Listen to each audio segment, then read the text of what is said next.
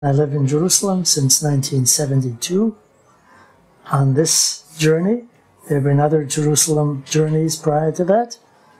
And uh, I was born Pesach, but during a period of time in the United States, a uh, public school teacher who I had only for about three months uh, before we, my parents discovered the world of the yeshiva for us. Uh, I was all of eight years old at the time, suggested that Pesach won't do for the American melting pot. And at that time, uh, parents were in awe of teachers. So they didn't tell them to fly a kite. And it was Tisha B'Av in our house. And so we looked for an anglicized name. And uh, we had the last word. I happened to be a firstborn. And uh, a firstborn in the book of Exodus is Peter Rechem. So Pesach became Peter without blinking an eyelash. It remained as true to a Jewish term as ever, except they never knew it. So I grew up, anybody who calls me Pete, I know it was from the Lower East Side. That's the period of time. Pete stuck even when Pesach returned. Mm-hmm. I was born in Munich, Germany, from Eastern European Hasidic extract. My grandparents came to the um, to Munich, of all places, from Galicia, Galicia, from a little town called Tichin, uh, at the turn of the century, for reasons of parnasa, earning a living, and uh, they had a little grocery store in Munich, and that's where my father was born as well. He was the youngest of the children, I had seven children, and uh, I'm from my father Alex, who was Alexander Moshe, who was born in, in, in Munich, and I was born there as well in 1931. That's two years prior to Hitler's rise to power. So that gives you a political framework.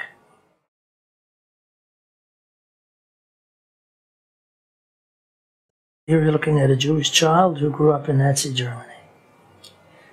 Uh, the story has been documented by the Spielberg people, how it was such a rare thing that my parents arrived in New York City prior to their children.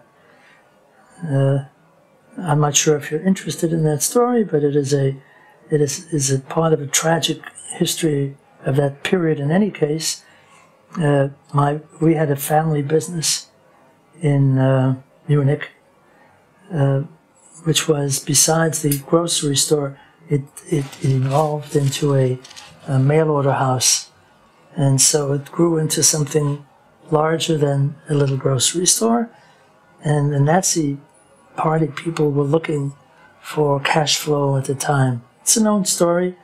And so they went to the owners of these Uh, enterprises and they were going to, and they did send them to two early concentration camps. They didn't call them concentration camps at the time, holding operations. One was Sachsenhausen, one was Dachau. And my father was on a list to be sent to Dachau, which is right next to Munich. How did he know about it? Because one of our employees was a member of the Nazi Party, and they saw his name on the list. So he had to split loyalty. The Schindler family gave his family business and putting food on the table, and yet he was a staunch member of the Nazi Party. My father and his sister-in-law, Sally Schindler, my aunt, who she was also part of the business. She's the mother of Rabbi Alexander Schindler, later become the head of the Reform movement, snuck out that night, smuggled out of Germany that night, and visited the Belzer Rebbe on the way out to Poland to get his blessings. We were come from Belzer Hasidim uh, background, and my father went to Italy, waited about seven months in Milano to get a a um, precious visa to come in to the United States we had cousins living, the Clarissenfelds living in New York, sent them a visa. So my father gets to the United States in the summer of 1938, August 1938, leaves his wife and two little children in Munich. Now, in the interim, history doesn't stop. My father tries to get them over. In the meantime, Kristallnacht takes place, November 9th and 10th, 1938. And I remember the event very clearly because we went to school that day.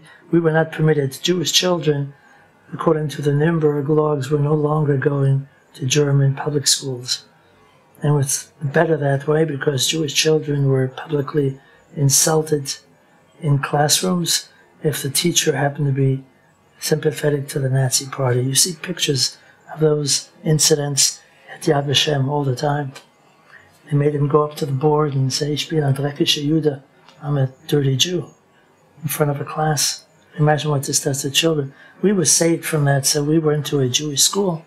That Jewish school, which people like Martin Buber and Professor um, Ernest Simon were very much part of creating a Jewish adult education protective device to keep the sanity of Jews during that terrible period. They thought originally when Hitler came to power in 1933 with responsibility, uh, there would be some level of political seriousness in his part.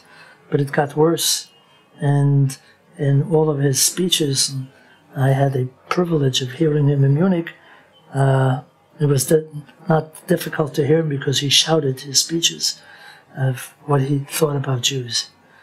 In any case, um, our school was burnt down that day, and uh, that Kristallnacht put a fear into what whoever Jews were still there. My mother panics, of course, goes to the American consulate in Stuttgart, and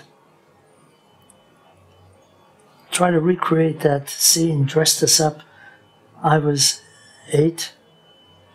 My small brother was seven, six and a half.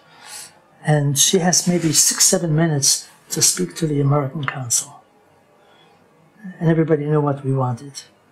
So he looks through the papers and he says, Mr. Schindler, Frau Schindler, you can have a visa immediately. You happen to be a Polish citizen, which he was. He was born in Poland, and they had a quota system of refugees who could get out with a Polish citizenship. But the two children, I'm afraid, we cannot give an entry visa because they don't have any citizenship. What do you mean by that? Well, the Nuremberg laws, children who were born, Jewish children born in Germany after World War One, were staatslos, had no citizenship and therefore we don't have a visa for now. Now, I, I never spoke to her about that moment. It was a devastating moment, but that kind of scene repeated itself thousands of times of the victim being in a position of being in a dilemma to make the decision for whatever is going to happen to them. And how could she leave two children? What are we supposed to do? So my mother began crying. Now these minutes he was beginning impatient, began shuffling his book. He says, What we suggest is you leave, get your visa out immediately. As soon as you arrive in U.S. territorial waters, send us a, um, a telegram. And there we have a clause that when both parents are in the United States, legally so, we can reunite the family and then send you out. Now, this is very draconian. I mean, first of all, there were other consuls who didn't work that way. These were the Ron Wall, the, the Raoul Wallenrods. These were the people, the Japanese consul in in in uh, uh, in Lita, writing out false passports, and who died a pauper, incidentally. It's completely forgotten by history. The Hebrew University has picked them up a little bit and my mother made the decision to go, put us in a orphanage, Jewish orphanage, uh, 140 Jewish children with similar stories. And my brother and I and two other children, two brothers, whose mother was Jewish and whose father was Christian, gave them a luxury of being sent to Theresienstadt. We were taken out in the middle of the night on February 20, in the beginning of February of 1940. The war is already on since September the 1st, 1939. And we were smuggled out. We were dressed up in Tiroler Hosen, the ethnic uh, garments of children living in Bavaria. And uh, blue eyes are still with me, uh, blonde hair, so my brother, we were put on a train to the Dutch border. That train was really a military train bringing soldiers to to Holland, German soldiers, in preparation for the spring inv- invasion of Belgium and Holland. And we were ma- mascots to them because we had signs we were going to visit our uncle and aunt in Rotterdam. Well, that decision of my mother saved our lives because mothers who did not make that decision remained there. Out of the 140 children, incidentally, only four children survived. All the others were sent to Kovna put up in front of a um, machine guns and murdered, including some of my school my school uh, mates at the time. One of whom was Kupfer, who who together with him I was arrested as an eight-year-old tearing down anti-Semitic posters in Munich. What's your earliest memory of faith or of God?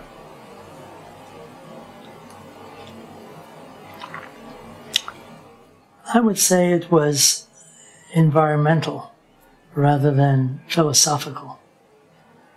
Uh, we grew up, we, we did not come into, we were not parachuted or parachuted ourselves late into um, Judaism in its intimate way. To us, it was a very, it was a very intimate part of our growing up that means we were a home that observed mitzvot.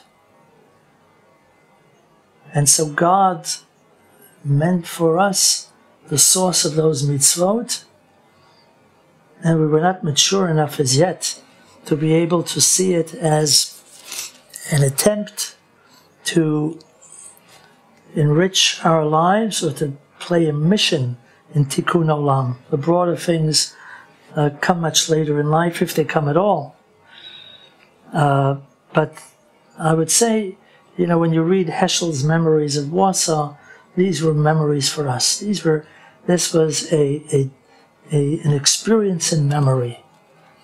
And these were very positive experiences, as we were fortunate to grow up in a home that was not suffocating, didn't, we were not it was not jammed down our our hesitant uh, young lives, uh, where one part of it says, you know, now let's go out and play football. We'll take religion whenever we can fit it in. It was total, and and it was it was less um, vertical. It was horizontal. By that I mean that the weeks and the days and the months of the year contained these, I would call them traffic signs. And they were expected because you always looked forward to Hanukkah before it came, and you Pesach was in the year um, before Purim came in, and so these the environment was three dimensional and it was not questioned, and it was part of a good family, a, a solid family upbringing. And I feel very fortunate to have been part of that thing. Now, you, you, we're sitting here 100 meters from a community of young people that you see out there. The great majority of them do not have the kind of thing I'm just describing. They either are part of a late entry into Judaism, and I tell them something different. I say, I admire where you are now. And I mean it. I'm not just telling them something that is that is in order to make them feel good. I did not have what you have. In other words, you are getting a fresh look, albeit you feel inadequate and you feel ignorant about it, and you're studying at the ground floor or on the first floor, and we, our yeshiva is now 14 years old, but I've been with these students. You were among those students, many of them at the Hebrew University, is their first contact with any kind of serious experience in Judaism. We're now getting more day school kids and yeshiva kids, and and uh, you have to deal with them in a different way. They have other problems. So I say, I admire you. You're coming in with a tabla rasa, fresh. There's this thing. But when you ask me this kind of a question, I'm saying I feel grateful that my parents sustained that when they came to the United States. Their experience in Europe, which was a harrowing experience, it was by the breath of a hair that it could have gone in the other direction. Sustained it, and they sent us to yeshiva, to Eastern European yeshiva, the Shlomo Kluger Yeshiva on the Lower East Side, which was peppered and salted with another kind of calendar that paralleled the Jewish calendar, and that was we had a punchball season and a stickball season and a basketball season, and these were part of our uh, Lower East Side Park environment that did not in any way compete with the yeshiva on Houston Street across the way, and uh, and that was a positive thing, and so we were able to maintain a a split radar kind of thing, which did not compete with one another, but in a healthy way integrated with another. So I could recite for you the entire New York Giants baseball team of 1943. Mel Ott in left field, Rucker in center field, Medwick, who was a Dodger trader moving over to the Giants, in left field.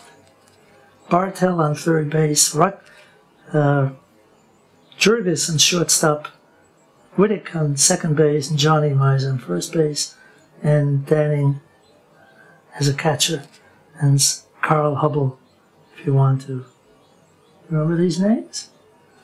Oh, you do? Right. I think you ought to interview him for your baseball people. They ought to get it. They ought to get a hearing. And right now, I'm reading a book that a friend gave me, the greatest game ever played. Do you know who that was?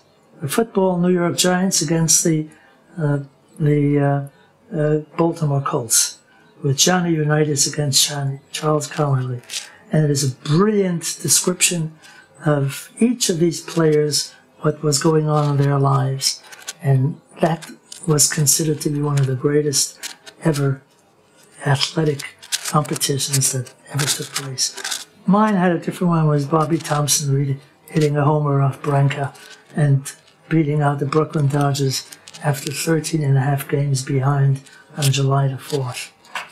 So that's it. That's my. What year? That I believe was 19. Help me here, Arnie. I don't know, 52? 50, 52 or 3. Yeah, Yes. shot. It was a shot that was heard around the world. Yes, Bobby Thomson. Yes. Is there a specific? Um, you talked about it being uh, faith being environmental. Was there a specific memory you have, a specific event? I mean, was it something around Shabbos or Chagim, or or is there something about the home or about Beit Knesset or study? Uh, like you have the earliest memory you have about being part of this Jewish environment. Could have been in Europe. Uh, There's so many, you know, to, uh, you would have to really give me time, then would spoil the answer. Because you wanted something that is off the cuff. I would say these were figures uh, rather than a particular uh, kind of thing that crossed my path. You talk about teachers that have crossed your path. I would say at Torah Vodaath, which is my high school yeshiva experience, I encountered a young, tall Talmud teacher of mine. He was called Rabbi Kahana, except we called him Kahana Jr. because his father, who was an elderly gentleman, was called Kahana Sr., and I had them both um, as teachers.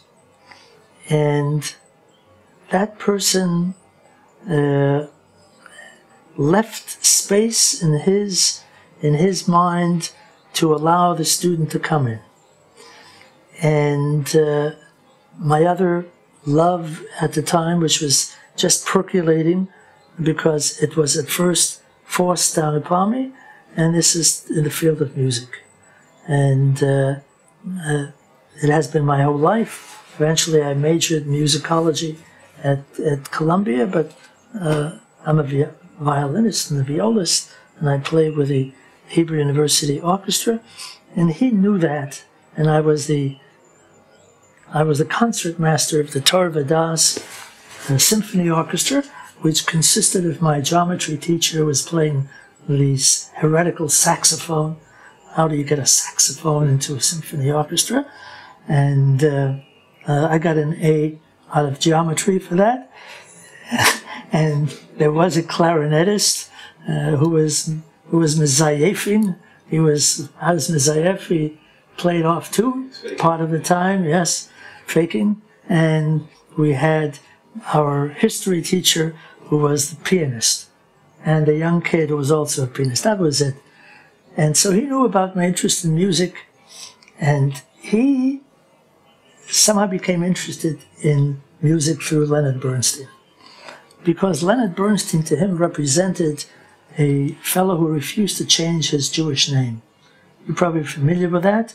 His, his um, teacher or his mentor, uh, Serge Koussevitzky, was the conductor of the Boston um, Symphony Orchestra, uh, whom he considered as his father image. His real father was also imaged as a, as a kind of a Talmid Chacham who learned something about Talmud. So Bernstein who was the first subscriber to the Elam Talmud of United Synagogue. They made a big deal out of it, and Bernstein studied Talmud from that, that thing, and he heard about that, and he became interested in Bernstein's music. So after class, he calls me over one day, and he says, "I want you to tell tell me something. I bought a record. They we were still in 78 RPMs at the time of the Jeremiah Symphony." Uh, that was an attempt by Bernstein to take Eicha, Lamentations, and to put it into music through the Tisha B'Av experience. And he took me out of the yeshiva thing, environment, because for him I looked to opening up my pages of Talmud. Now he's discussing something else. That kind of synthesis was remarkable for me because in life, without spelling it out, he represented chokhmah, wisdom in the largest sense, as Rambam my Maimonides understood it, and as a source of Hakadosh Baruch Hu. Namely, that that here a a oddball Bernstein, before he became establishment, was very oddball in many ways. Not only in the gender thing that he's, that everybody knew about, but he, he was a tormented soul in many ways. At, at the end of his life, too bad he smoked himself to death. I mean, it, the other day would have been his 90th birthday. Could you imagine where we would have gone? Just, just four days ago. Represented to Kahana Jr. a, a a divine entity. Now, in Chassidut, we believe that every human being has that. Except when you're that young, you don't think of it in those terms. Now it begins to fit in. So that, that every person, this is one of the most optimistic things in my more mature Judaic development that when we go through the crises in life, and everybody has them. You had it in your life, Ernie, and they're lonely. They're lonely days. They're days that you don't know why you want to continue with it. Right here, this love affair is now shvirat hakelim. It's, it's destroyed. Where do I go from here? And I have close friends who've gone through that experience. That there's an element in my take or my heritage of Yahadut which says, How dare you get up in the morning and not get out of bed? That God gives you another day to, to breathe and to participate in something that is beautiful. How dare you throw it away? How dare you close the door? How dare you pull down the window shade? Right? That's it.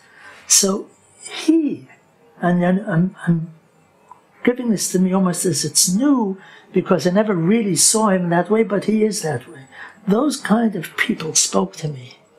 And so that is a memory that I would like to share with you. I hope he's alive somewhere. I don't know where he is today. He's only a few years older than I was. You know? What is your concept of God and Kadosh Baruch Hu? Well, they're different because I have a a kind of a heretical, almost blasphemous, uh, pantheistic view that if God, let's go back to, to basics, if God exists, then he's got to exist on my terms. And those terms are the all of it, everything. And so there are moments when God is one that I address my disappointments to. There are times that I address my gratitudes to, that I address guilt feelings to. He becomes an all collective things, and like a divine salamander who changes colors, he has to be there in a very intimate way for me to talk. Otherwise, I'd be talking to the wall, and I'm not that pantheistic. I'm not that theistic to, to credit divine things in stones and, and, and wood, even though there are implications for that in life as well. The, the terrible scene of the first murder in, in civilization, biblical civilization, is uh, Demei achicha tzoakim. This is the plural. The bloods of your brother are calling out. You know, what do you mean? am I my brother's keeper? That's the chutzpah of Cain. If he would have said, I'm sorry, I didn't know that if you take a rock or if you, and then put it, throw it at him, that he's going to go to sleep and never wake up again. He could have had that argument. So it was the first murder. I, it was a, a, a halachic response of onus, of, of uh, forced, forced response. You know it. But what does he say? He lies through his teeth and he says, What's my connection with him? So that's one brother. But then when God responds, listen to this. You can't get credit for this point anymore. You're not in my class, but you can get a, larger credit for it.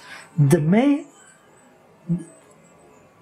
the may achicha, the bloods, the plural form.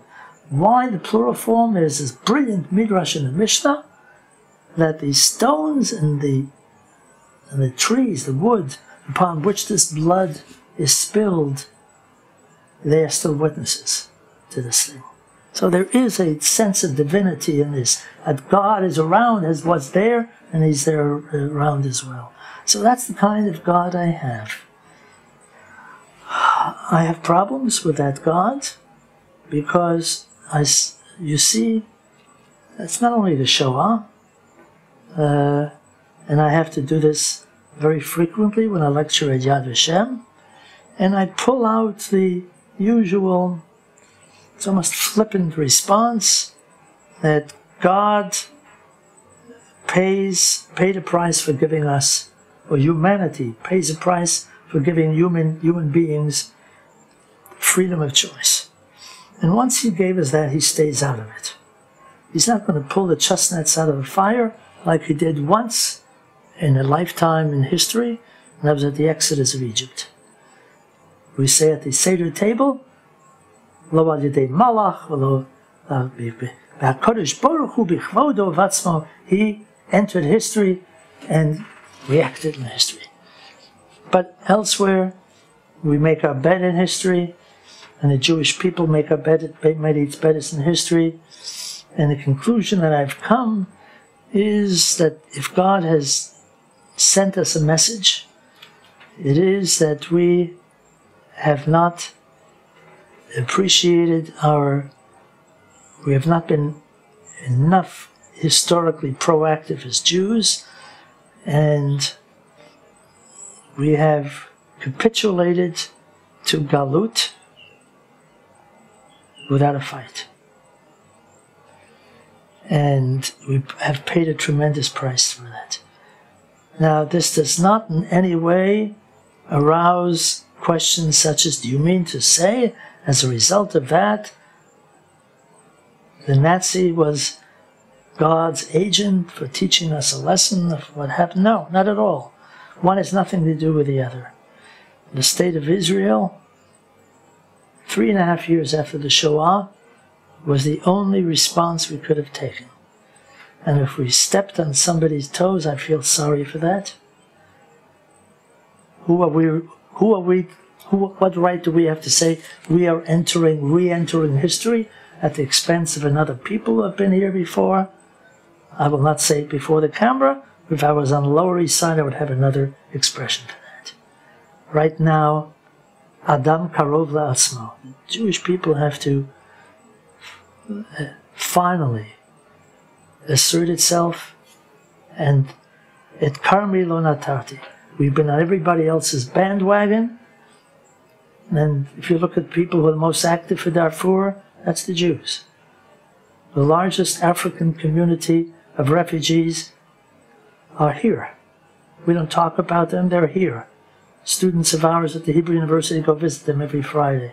We don't make a big deal out of them. The Egyptians are shooting them down as they're trying to get in to, to uh, nobody says a word. The Muslim world that is very much responsible for the tragedy of Darfur are not at all involved. And, and so I have this, the the God that you're asking me to do, I think, has sent us some some painful messages. That it's time that we woke up, and time is not a, is not for us, because we have contributed a statistic that we have among the lowest birth rates in the world.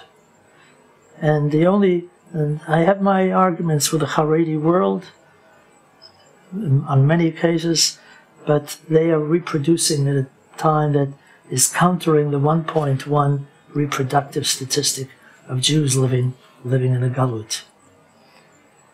So the question isn't there's a silent God who's sending me loud messages.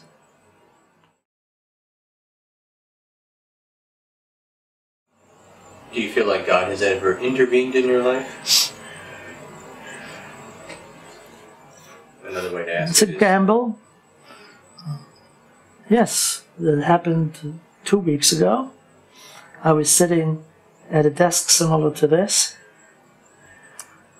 and that's where my computer is. And at, every day at 10 o'clock, like a compulsive yekka that I am, I look at my computers to shut down the day. I used to shut down the day with Kriyat Shema. Now I shut down the day with computers. And I prefer the first one, this one. On that day, I was very tired and I was not sitting at that desk. And I'm upstairs.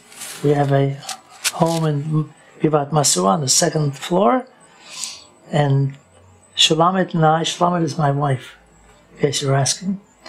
And uh, we hear a crash and I thought there were two cars outside who crashed into one another We went outside to see what happened, nothing there. So we begin searching in the house. We come down to every room. The, the last room was that room that I always sit in. What was happening was books on my bookshelf on top, parts of the Shulchan Aruch, somehow incredibly moved a heavy menorah, Hanukkah menorah, that is sitting next to it, and it's been there for a long time, sits up there between Hanukkahs, goes up there. And evidently, how these how these Shulchan moved the thing was like a, a Rube Goldberg reaction. The, the, we came in the scene was horrific. It broke through the glass um, chandelier over my my uh, desk, and where my head is usually, that's where the Hanukkah menorah, a heavy one, fell. It could have been my head, and glass all over. Just the thing. It it missed the computer, which would have been a worse tragedy than my head. And and there it is.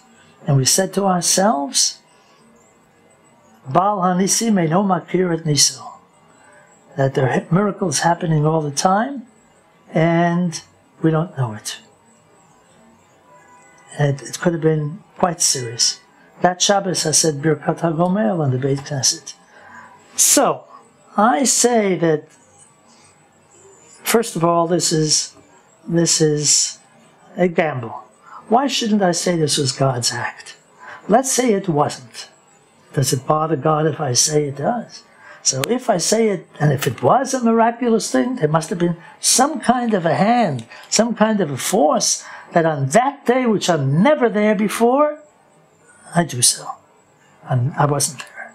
But there was another aspect to it, because you're now pushing me to the supernatural. Because you're really after that, aren't you? Some kind of a mystical thing. Our daughter Chaya, who is much more spiritual than I am, had just come back from her Hasidic experience in uh, via a quasi Bratslaver group that took um, 120 people on the Hasidic experience. This included Zhitomir and Berdichev and Mezibuz and uh, Uman, of course. And they spent five days there. While they were in Mizabuz, there's a legend there that the well from which the Baal Shem Tov HaKadosh drank, if you pay the cab driver, uh, the Goyish cab driver, a few dollars, two dollars, he'll take you in his taxi down. It's a 15 minute ride, he knows where it is. And all those people who were into the spiritual thing was a marvelous experience. You're familiar with the Tov? They go down there, they take their bottles and fill it up with that water. And Chaya tells me, this is my daughter, Dad, every day I want you to drink a little bit. She brought this as my gift. I expected to see a t shirt, and I got this bottle of Tov water. And I that morning I drank a little bit. It was in that refrigerator right over there.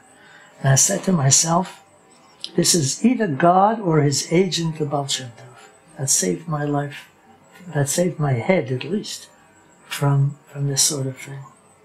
Now, it sounds a little flippant, but strip away the flippancy and you'll get something quite serious. There are things happening in our life that we have no answer to. How two children get plucked out of Nazi Germany while millions of others don't go that way. Now I have to be very, very careful because that cannot ever be interpreted. Do I? This means that we're are we better off, more privileged? Is is there such a thing as lady luck? Frank Sinatra song, right? And but there is something that our human limits Lo machshavatai machshavatechem, says Isaiah, and that's true. We don't we don't see everything. You're interviewing all these people, you're getting a fraction of what you're what, what these people are. and what's going on around them. And that, if you want to put a label, this is a divine experience. I'll buy into that. There's something beyond me for which I have no, and I say I have a problem with it because if I'm grateful for that, I have to explain why that divine experience did not accompany others who were better than I am, lived Jewish lives, religious lives better than I am. I'll have to live with that paradox always. But in the meantime, you've got to make a little bit, go that extra mile while you're living to at least say, if I have this chance, I better do something with it.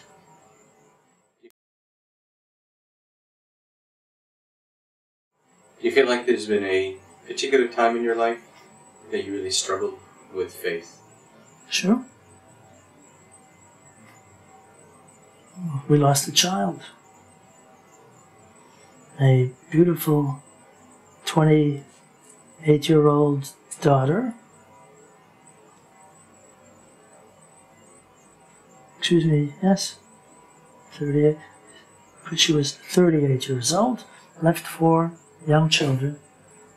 And it wasn't an accident, it was cancer, breast cancer. So you, you, you don't have too much, you know, if you can't be angry about it, it was not like somebody else's fault, it wasn't a car accident, or it wasn't somebody who, God forbid, raped her or did something like that. No, it was ordinary breast cancer metastasized. Well, I wouldn't. I, I don't know if I would say anger. I would say question. Why? Why? Every parent would say, at that stage of the game, I have lived. I've lived more for my life to be able to say, I will give her whatever was due to me, and let her live her full life. So, and it gets worse with the years. You shouldn't ever feel um, loss of that kind in your life, and people tastelessly will say, you know, with time, they mean well, with time, things will settle down. Now, look, you hear me joking, and I use humor as much as possible in teaching, and uh, uh, it's a Pagliacci cover. You know, it's you like opera, you know what Pagliacci is. It's, but you can't be bitter about it because Gita would not have wanted us to do that. And in the process, if you overbalance this question that you're asking, then you you go to a cemetery, stand over a grave, and put put a bullet in your in your in your head. Which there are people who do that. There are people who grieve so much that they they kill themselves in the process. Anger is a form of killing yourself too. It is a form of spiritual suicide because you can't make proper decisions when you're angry.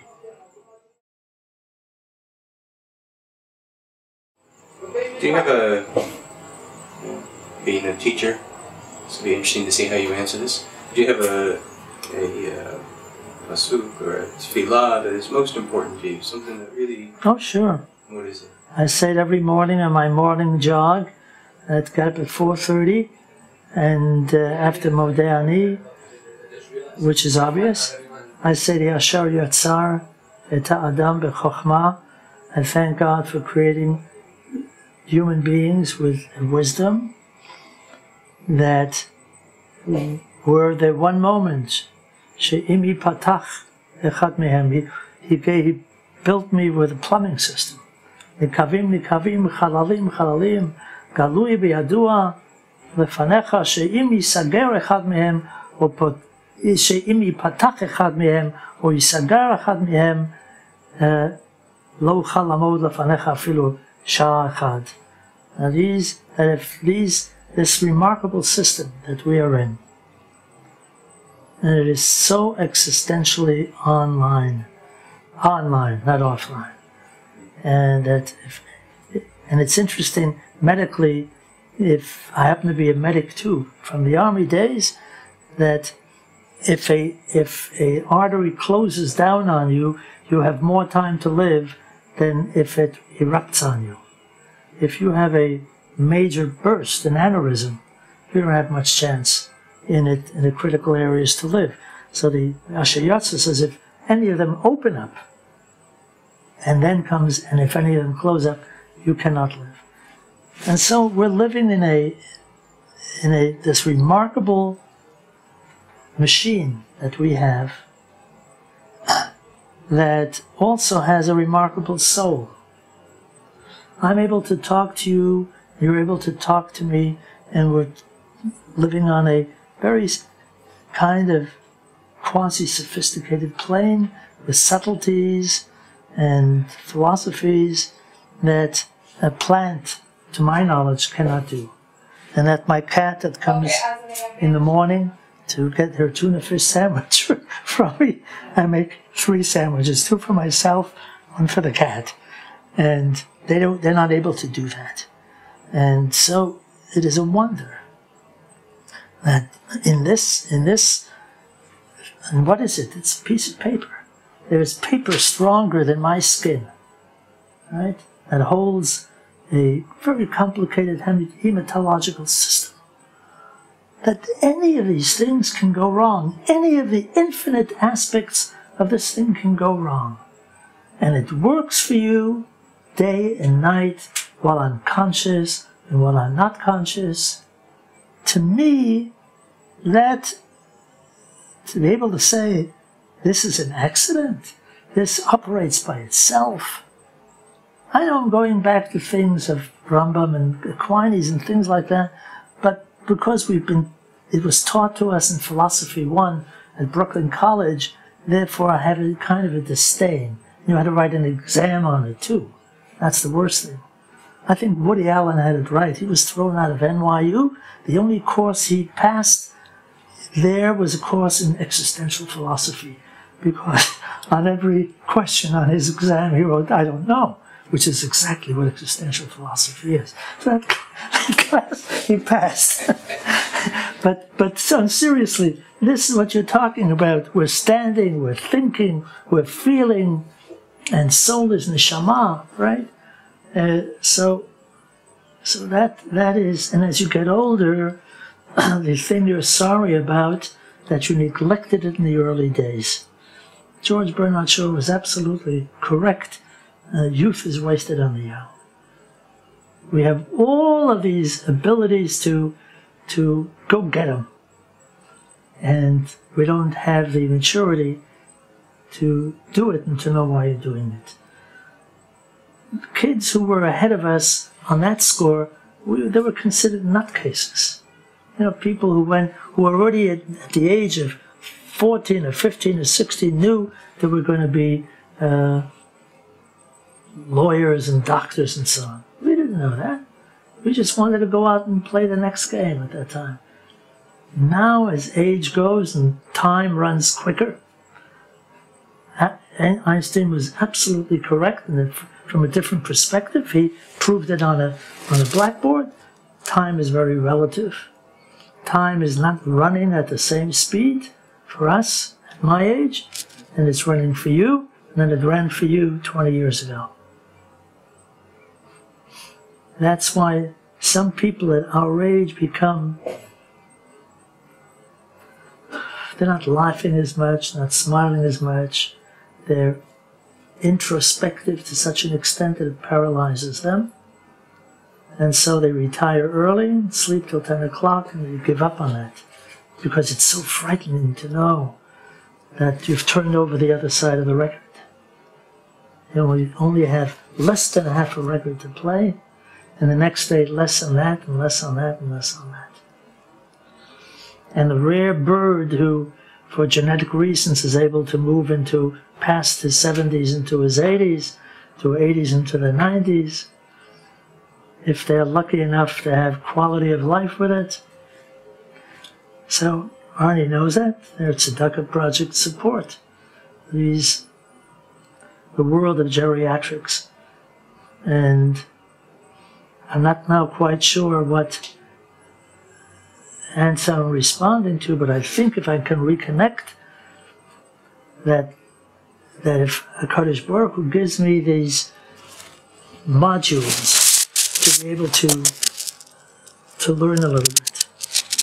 Right now, what's given me new adrenaline is that I'm on a going back to frontline research. I'm going to back off a bit on teaching, and I hope to be in Poland, in Galicia, uh, this coming late spring or early summer to uh, research the historic, to be the historic quest of Rabbi Moshe Sofer, uh, Moshe Pshevorsk, a hidden tzaddik who lived from 1720 to 1805, if you can imagine, Pshevorsk, a shtetl in Galicia, who they, discovered his manuscripts, which became the classic Or Pnei Moshe, a commentary on the five books of Moses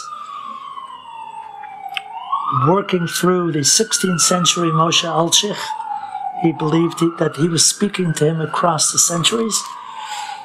And he was the Baal Shem Tov's type of tzaddik, a hidden tzaddik. Nobody knew. He was a scribe. He wrote tefillin and mezuzot, and all the Hasidic greats of the second, third, fourth century got their tefillin and mezuzahs and the Sifrei Torah to him but they discovered his manuscript after he died, and it became a classic. Now, when you study these saints, it's a hierarchy. It's a kind of the Agadot, the legends, outnumber the historic realities. Now, I wrote to the Polish archives in Ishtetlach, and lo and behold, there are files on Pshevorsk from the period that he lived, all this period of time, of Jews and Jewish life in Pshevorsk.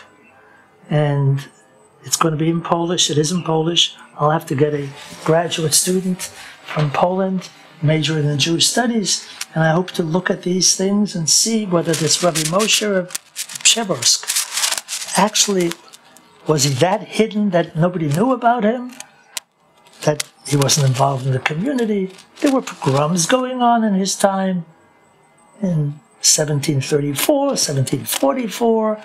There were protests. There was there were good relationships with their non-Jewish um, uh, community people in Pshevorsk. There were poor ones. A lot of within Judaism and Jewish community, positive and negative politics.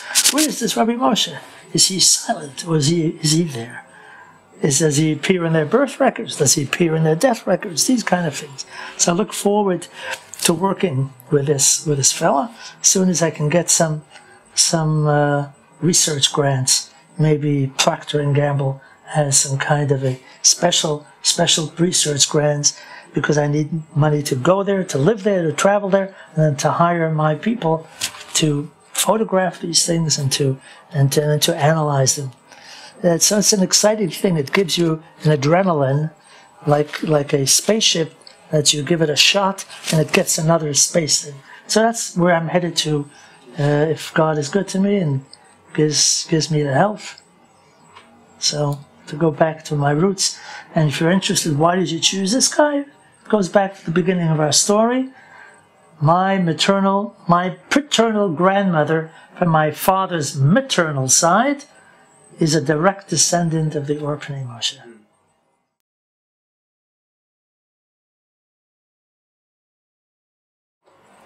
What are you most grateful for? What's your greatest wish? And do you have a message for people who will see your portrait around the world? Let's begin with the last one.